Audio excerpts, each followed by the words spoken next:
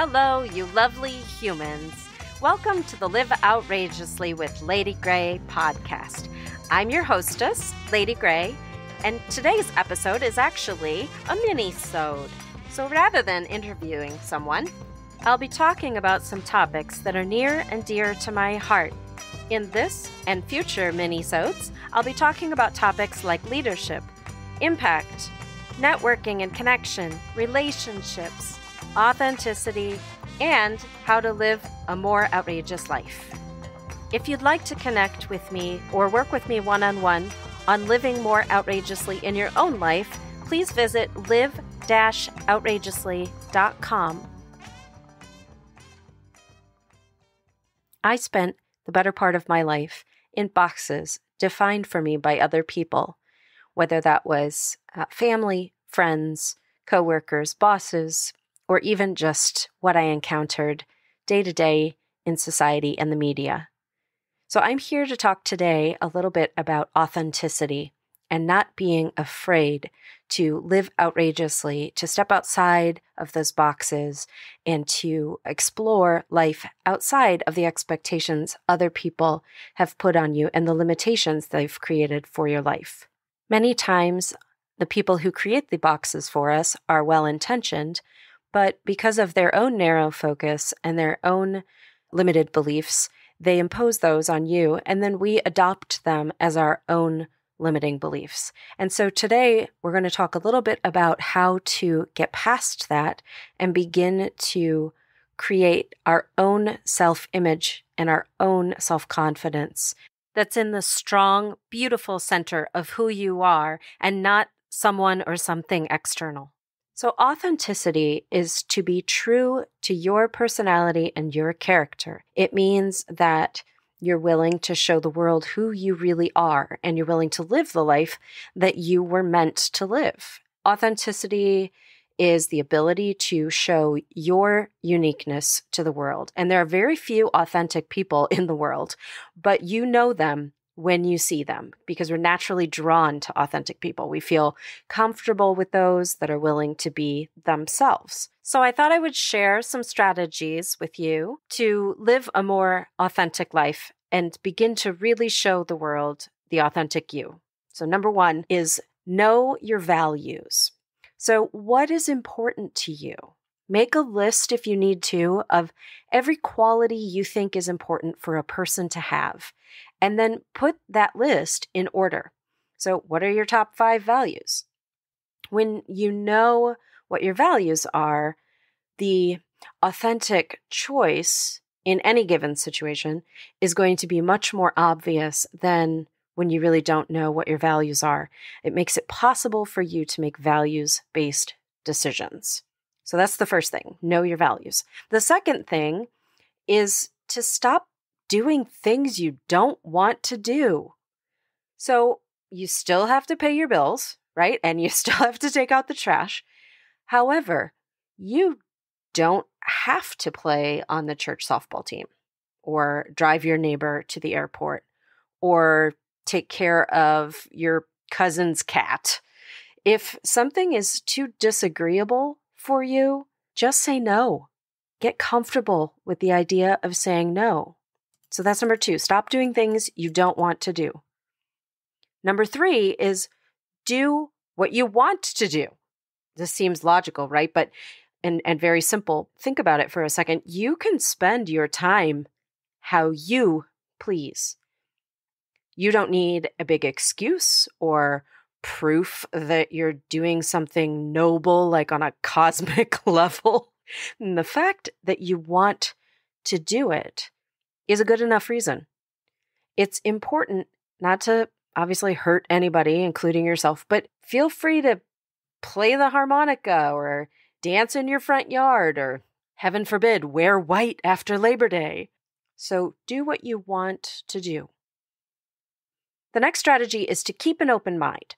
So, when your thinking is very rigid or contained in these little limiting boxes, you limit yourself and you prevent your true self from shining through.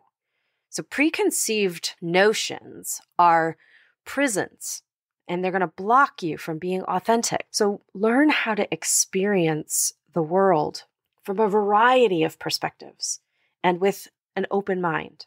It will serve you. You will learn. And I believe that you will discover more about yourself as well. So, the fifth strategy for living more authentically is to trust your intuition. Now, this sounds kind of woohoo, but when you ignore your hunches, you're going to feel out of sorts. You're just going to. Your subconscious has information for you, and it's self serving most of the time. So, trust your instincts because they are encouraging you, nudging you towards authenticity and what you truly desire.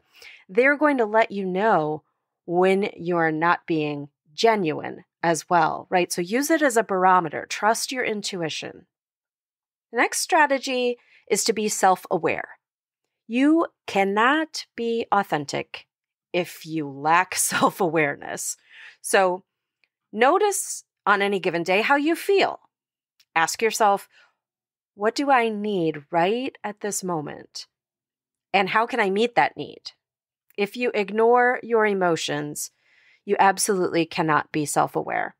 And you can't be authentic without being self aware. The next strategy is to practice boldness. The biggest reason for a lack of authenticity is timidity and fear. So we want to say and do certain things, but we are uncomfortable with standing out in any way. It makes us feel uh, vulnerable, it makes us feel exposed. I got news for you a little discomfort never killed anyone. And there is so much to be gained by being bold. It is absolutely worth giving it a try. Start small. Start small, but do not be afraid to stand out from the crowd. Okay, on my eighth strategy here is to openly share your opinion. Think about this for a minute. Tell others what you think and how you feel about something. And of course, you're going to want to be tactful so that you remain considerate of people's feelings. But are eh, check yourself. Are you hesitant to share your thoughts on a topic? And I think it's really important in terms of recognizing the box or the limiting belief that you are entertaining. Ask yourself why it is that you're hesitant to share those thoughts. It generally is coming from a place of fear once again. A fear of being different, a fear of offending somebody, a fear of not meeting expectations. So begin the gentle practice of sharing your opinion with other people. All right, and here's my last strategy. Oh, and this one's a big one. Are you ready? It is avoid perfectionism. Trying to be perfect is a huge limitation on your natural personality and your expression because, frankly, none of us are perfect. And so, if we put that limitation on ourselves, we can't be who we truly are inside. Avoiding mistakes and imperfection at all costs is a recipe for inauthenticity. It's handicapping, it's paralyzing, and it puts us in a place again of fear of failure. And I'll be really honest, we are never going to reach that perfect standard. That that perfect standard is what someone else has planted in your brain or you have constructed in your brain as being the penultimate be all end all goal. And it may not be in alignment with the gifts and the talents that you have been given as a human being. You have a uniqueness that only you were given.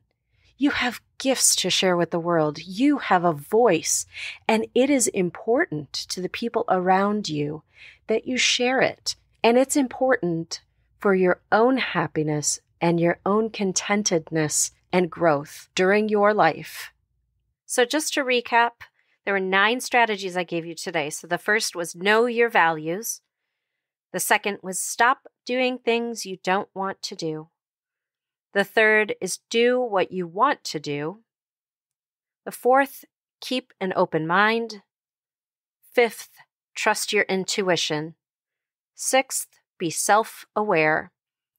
Seventh, practice boldness. Eighth, openly share your opinion. And lastly, avoid perfectionism. So take a second, listen to this podcast again, this little mini sode again, grab a notebook and maybe jot some of these ideas down and really think about how you can begin to live more authentically. If this was helpful to you or you have questions and you want to reach out and learn more, I actually have a new course called Journey to Authenticity that you can sign up for. If you're interested in more information, you can visit live outrageously.com and click on courses. Well, outrageous friends, it has been my honor and my pleasure to have you here today. I hope that you took away some outrageous ideas for your own life. If you enjoyed yourself, make sure that you are subscribed to Live Outrageously with Lady Grey on whatever your podcast app is. You can also connect with me personally on Facebook at facebook.com slash outrageous lady grey or on Instagram at lady.grey. Also, be sure to check out our podcast website at www.liveoutrageously.com. Once again, this is Lady Grey encouraging you to go out and live outrageously.